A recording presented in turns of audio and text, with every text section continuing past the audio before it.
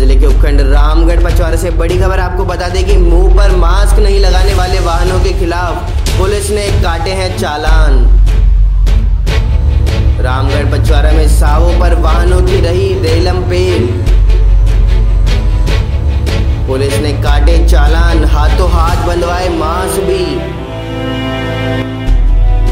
रामगढ़ पचवारा में सरकार की एडवाइजरी की पालना में पुलिस बनी रही मुस्तैद।